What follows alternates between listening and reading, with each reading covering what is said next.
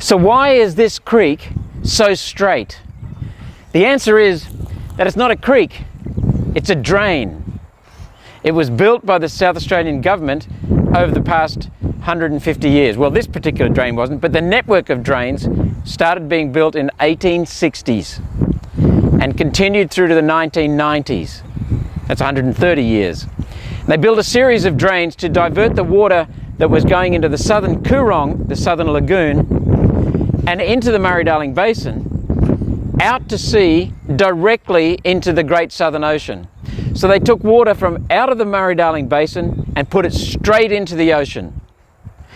And they took it away from the southern lagoon of the Coorong, where it previously kept the Coorong clear. The mess in the environment that has been created in the southern lakes, the, the lower lakes, is man-made. It was created by the South Australian governments over the last 130, 140, 50 years. That's the legacy. And it's not, the water from the north is not going to fix it. It's a man-made creation that the South Australian governments have to fix. We'll help them fix that. But they must come clean with the truth.